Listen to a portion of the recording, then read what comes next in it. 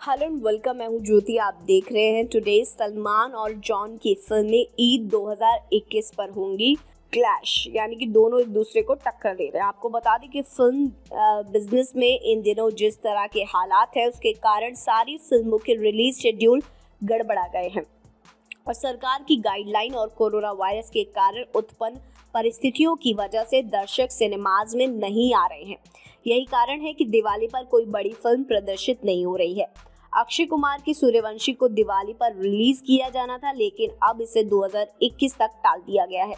इसके बावजूद नई रिलीज़ डेट इस उम्मीद के साथ घोषित की जा रही है कि हो सकता है कि आने वाले दिनों में हालात सुधर जाएँगे।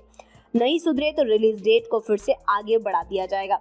लेकिन आपको बता दें कि सलमान खान की फ़िल्म राधे, जो इस साल ईद पर रिलीज़ होनी थी, लेकिन अब ईद 2021 पर रिलीज़ की जाएगी। हालाँकि अधिकृत रूप से घोषणा नहीं हुई है, लेकिन फ़िल्म से जुड़े लोगों का ये कहना है कि सलमान इस ईद पर रिलीज़ करना चाहते थे, क्योंकि इसके अलावा ईद पर रिलीज़ करने के लिए उनकी कोई अन्य फ़िल्म तैयार नहीं थी। इसी बीच John Ibrahim film Satyameva Jayate two को अधिकृत रूप से ईद पर ही रिलीज़ करने की घोषणा कर चुके हैं। इस फ़िल्म में दिव्या कुमार खोसला जॉन की हीरोइन है। मिलाप जेवरी द्वारा निर्देशित इस फ़िल्म की शूटिंग इन दिनों तेज़ी से लखनऊ में चल रही है। यानी कि कुल मिलाकर ये कह सकते हैं कि ईद 2021 में सलमान बनाम जॉन की टक्कर देखने को मिलेगी।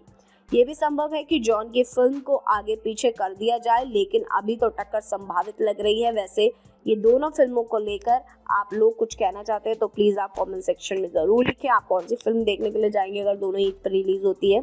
ओपिनियन हमारे साथ ज़रूर शेयर करें। Thank you so much keep watching today's for more news